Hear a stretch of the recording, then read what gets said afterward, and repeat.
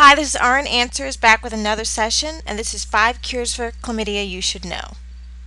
So, what is chlamydia? Chlamydia is a sexually transmitted infection caused by the bacteria Chlamydia trachomatis. Each year, millions of people around the world contract this ubiquitous STD.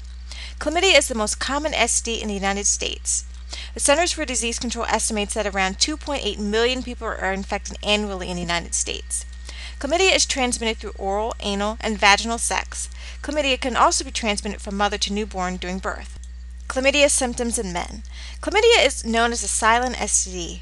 Often there are no outward signs and symptoms associated with a sexually transmitted infection. Men in particular are likely to have no overt symptoms of chlamydia. If there are signs and symptoms present, the most common in men are burning sensation with urination, a tender scrotum, and discharge from the urethra. In the picture to the left, you can see discharge coming out of a male urethra, in case you're wondering what that picture is. Chlamydia symptoms in women. For women, missing the symptoms and signs of chlamydia can have a serious, lasting impression on their fertility. Infertility and pelvic inflammatory disease can result from untreated chlamydia. Common symptoms of chlamydia in women include painful urination, discomfort during sexual intercourse, and unusual vaginal discharge. In both genders, untreated chlamydia may spread to nearby organs of the pelvic region. So, who's at risk?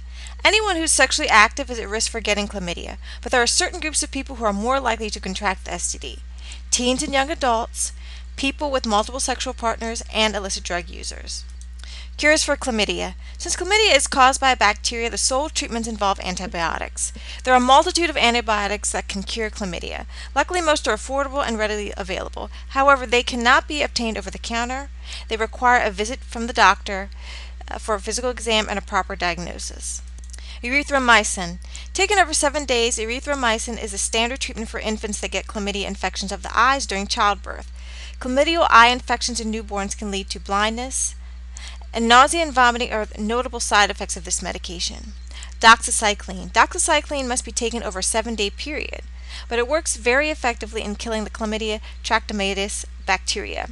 Doxycycline is an old drug with a well known history of working. It is not to be given to pregnant or nursing women. Azithromycin. This medicine is offers a fast, easy cure for uh, chlamydia. Azithromycin is taken in a single dose of four pills. It's a great option for those in which medication compliance is an issue.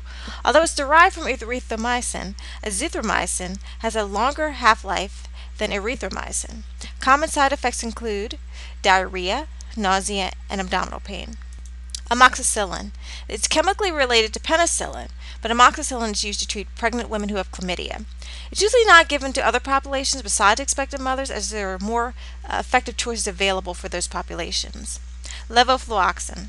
It's generally not the first line treatment used to heal chlamydia. Taken once daily for seven days, this drug is typically more expensive than other antibacterial medications.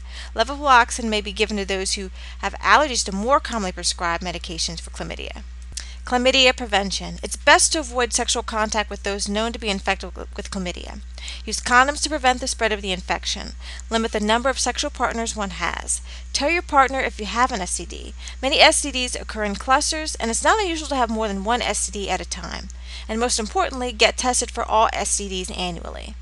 If you live in the United States, you can call 877 787 4875 to schedule an appointment for confidential STD testing in your area. Thanks for watching.